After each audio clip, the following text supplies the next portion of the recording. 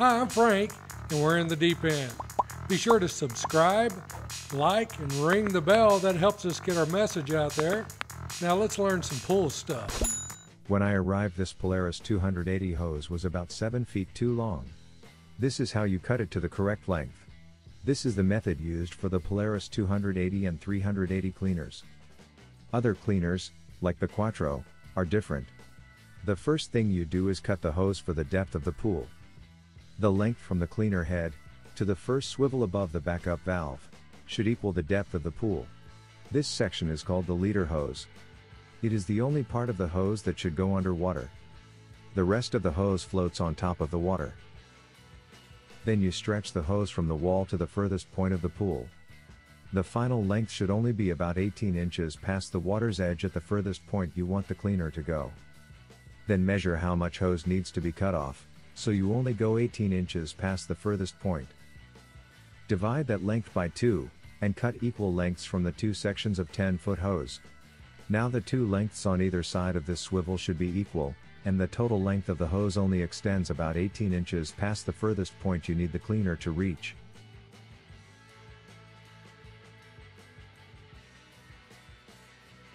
This Polaris 280 hose is now cut to the proper length.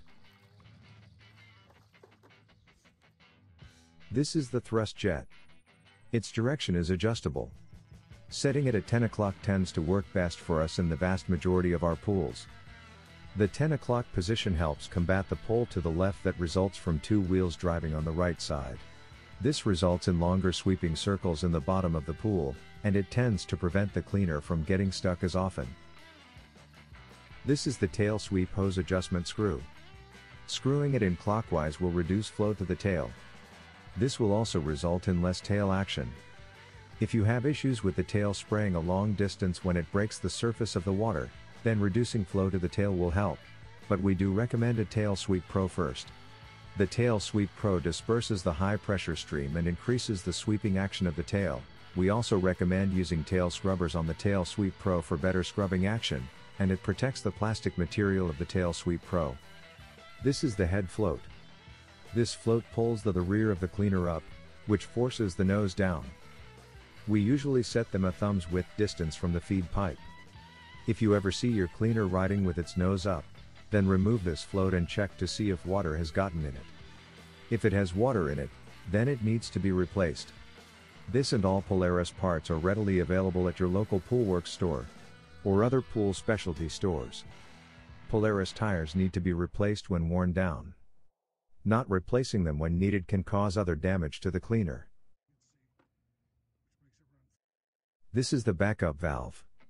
Water flows through the backup valve, but once every 3 minutes or so, it will reverse flow through this port, dragging the Polaris backwards. This helps get the cleaner unstuck if it is stuck. Backup valves can stick in reverse flow, or regular flow, and need to be replaced occasionally. This is a good time to show you how the nuts on a Polaris hose work. This may be elementary to some, but I see this as a problem many times every year. The actual nut goes onto the hard plastic piece of the backup valve, or other hose components, with the open side outward. Then the hose slips over the barb on the plastic piece. Then the nut screws back over the hose, and that is how it holds it in place.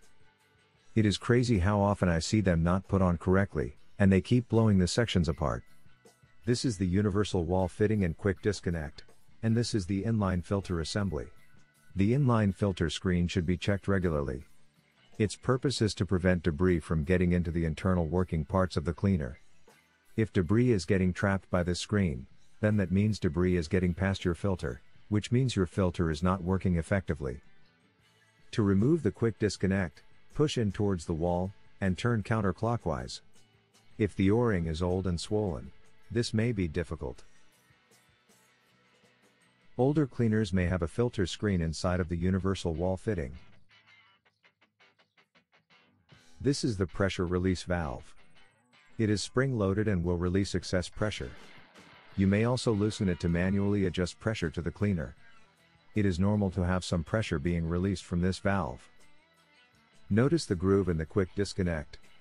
Inside of the universal wall fitting, in the wall, there are two knobbies. These knobbies slide into these grooves and lock in the quick disconnect. If these knobbies break off, the universal wall fitting must be replaced.